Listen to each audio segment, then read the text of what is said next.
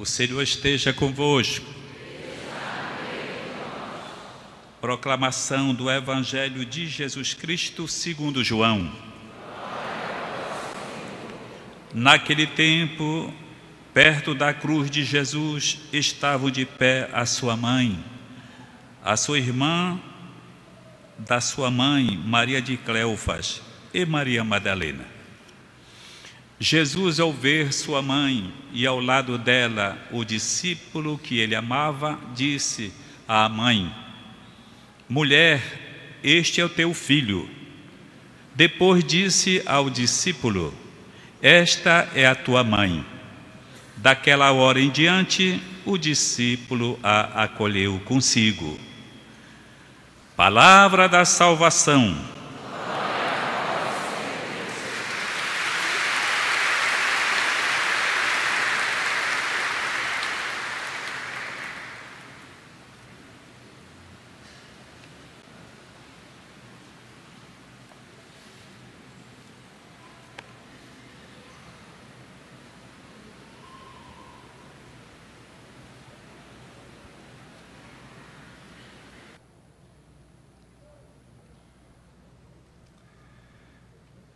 Caríssimo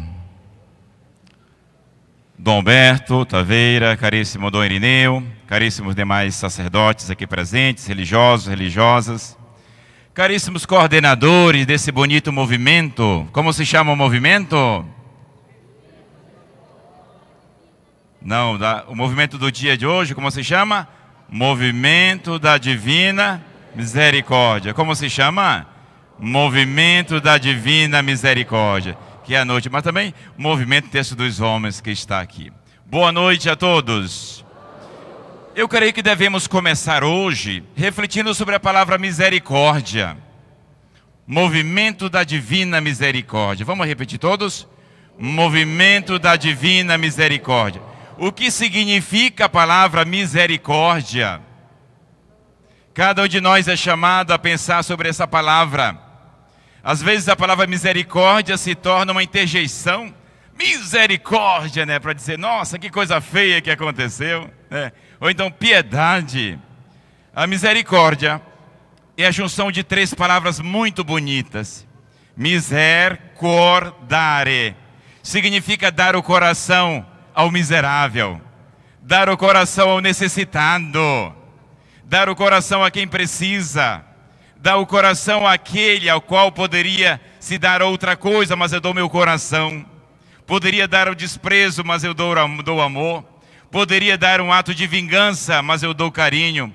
Poderia dar um ato de vai para a China, vai para o inferno, e no entanto dou meu afeto, meu amor, meu amparo.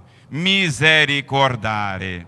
Dar o coração ao miserável. Diga, dar o coração ao miserável. Quem é o miserável é aquele que nos faz mal, é aquele que nos despreza, aquele que quer se vingar, aquele que nos fez o mal, aquele que nos prometeu o mal, aquele com o qual nós não vivemos bem tantas vezes, é aquele que está necessitado do meu perdão. Miserável é aquele que necessita do meu perdão, do meu carinho e do meu afeto. Dar o coração ao miserável. A sociedade de hoje não dá o coração ao miserável, não. Dá a pena de morte, dá desprezo, não é verdade? Então somos chamados a fazer a experiência da misericórdia. Todos nós somos chamados a participar do movimento da misericórdia divina. E se alguém não participa do movimento da misericórdia divina, não vai para o céu. Somos chamados a fazer parte do movimento da misericórdia divina. É o movimento do amor sem limite, do amor que perdoa, do amor que acolhe, do amor que suporta, do amor que educa, do amor que ampara. É, somos chamados a estar nessa escola do amor de Deus. Então é muito significativo é, esse movimento. Não pensemos como uma instituição Pensemos como um dinamismo do coração. Eu quero ser misericordioso. Diga. Quero ser misericordioso. Ou nós nos treinamos na misericórdia, na prática do perdão, ou nós caímos na vingança, caímos na impulsividade, e assim nós projetamos o outro para a morte. Somos chamados então a estar numa outra lógica, a lógica do amor de Deus, que faz a gente acolher, respeitar e amar o outro independentemente da sua condição. O outro sempre é digno de perdão e de acolhida. Eu gostaria de explorar assim, brevemente algumas ideias do Evangelho. No Evangelho nós temos duas cenas. A primeira é um retrato daqueles que se encontram ao pé da cruz. Ao pé da cruz, nós temos quatro pessoas.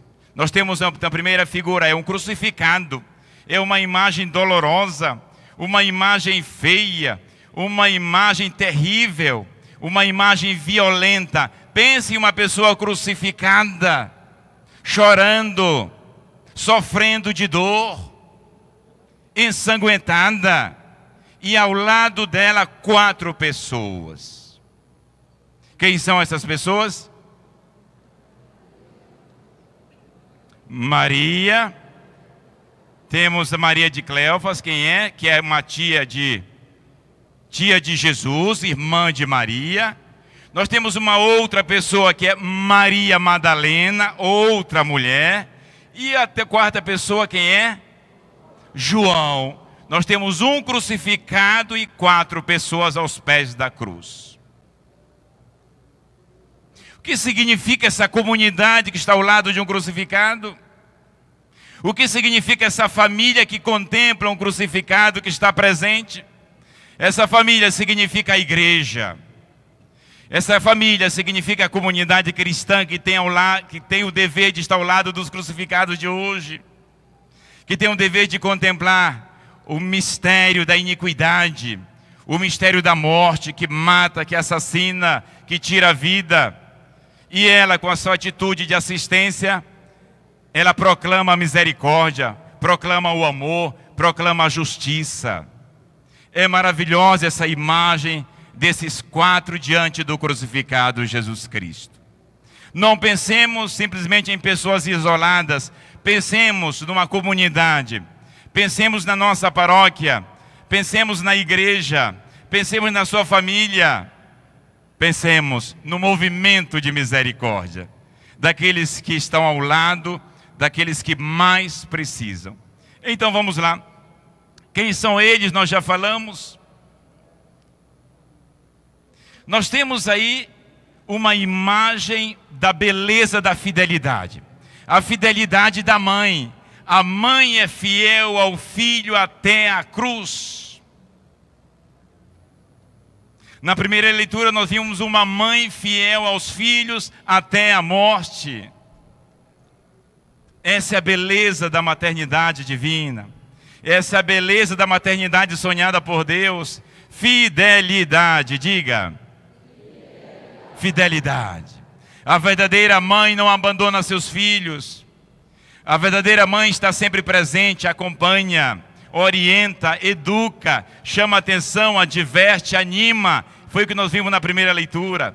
Que beleza a atitude dessa mãe na primeira leitura, que anima a fidelidade, que anima a perseverança, que educa, que faz outro, os filhos se recordarem dos mandamentos de Deus, da misericórdia de Deus, da grandeza de Deus.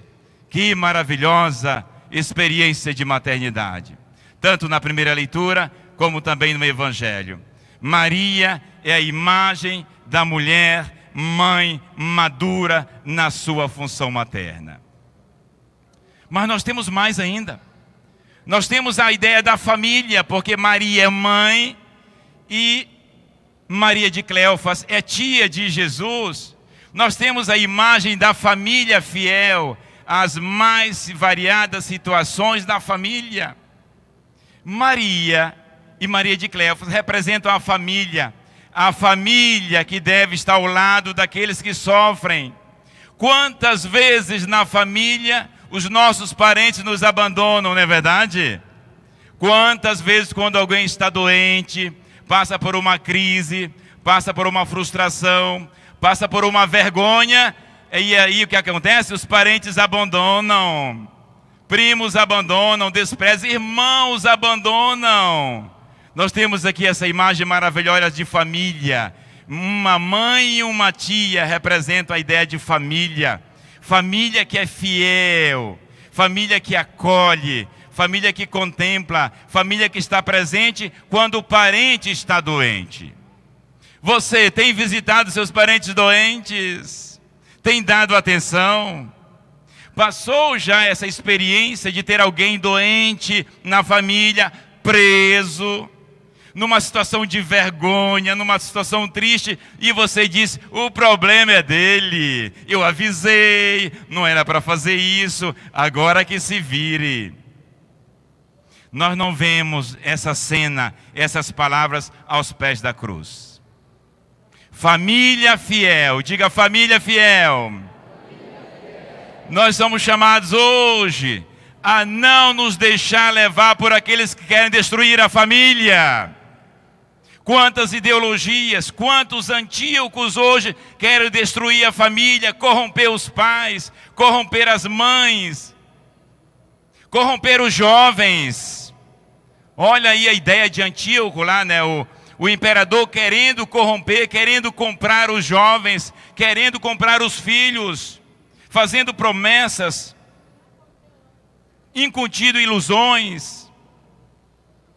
As famílias fiéis são capazes de derrotar toda e qualquer ideologia, toda e qualquer é, experiência de ameaça. Então, nós temos aqui uma ideia maravilhosa de família família presente, família que acompanha, família parceria, família comunhão. Mas nós temos mais, mais além. Vamos além? Nós temos também a ideia de amizade. João e Madalena são amigos de Jesus, são discípulos de Jesus. João é o discípulo amado, discípulo predileto, diz os textos bíblicos. Madalena acompanhou Jesus, acompanhava Jesus, era amiga, discípula. Nós temos aqui a mesma reflexão também, a ideia de fidelidade à amizade. Diga fidelidade aos amigos. Como você tem gerido a questão da fidelidade a seus amigos? Tem abandonado algum amigo? Desprezado algum amigo? Esteve com eles até a situação mais delicada, mais dramática.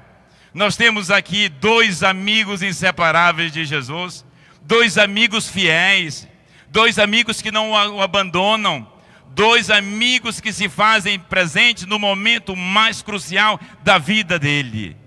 Que beleza, fidelidade e amizade.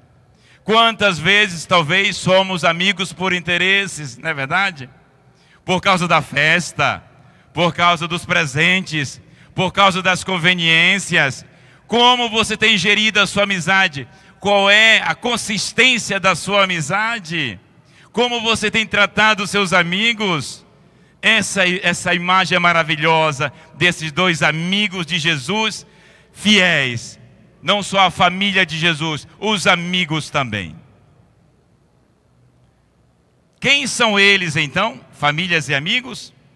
São aqueles que vivenciaram a experiência de profunda intimidade com Jesus, que acolheram a pessoa de Jesus, que o conheceram profundamente, que o acompanharam, que o escutaram, que aprenderam com Jesus o que significa amor, misericórdia e fidelidade. São aqueles que seguiram os passos de Jesus, são aqueles que fizeram a experiência da amizade com Jesus. A conclusão é esta: sem uma íntima experiência de Jesus, também nós não seremos fiéis a amizades, não seremos fiéis à família. Intimidade com Jesus, diga, intimidade com Jesus. Maria teve uma profunda intimidade com Jesus, Madalena teve uma profunda intimidade com Jesus, João teve uma profunda intimidade com Jesus, o conheceram, que beleza! Portanto, para sermos fiéis aos nossos compromissos, para sermos dinâmicos, perseverantes, precisamos fazer a experiência da intimidade com Jesus. Mas antes é necessário conhecer Jesus. Conhecer Jesus, e aqui eu lanço uma pergunta para você, meu querido e minha querida. Você já leu os evangelhos? Você já leu a vida de Jesus?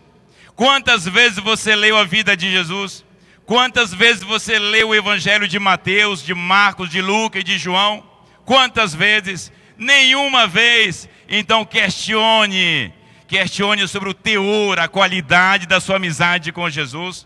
Porque não podemos ser amigos daquele que nós não conhecemos. Não podemos ser amigos, ter uma amizade com alguém que não conhecemos. Então, a primeira condição para você ter uma profunda e íntima amizade com Jesus é procurar conhecê-lo. Conhecimento, diga conhecimento. O conhecimento leva à amizade. O conhecimento leva à amizade, repita. O conhecimento leva à amizade. E a amizade fortalece a nossa vida, nos ampara, nos dá carinho, nos dá conforto, nos dá perseverança, nos dá firmeza.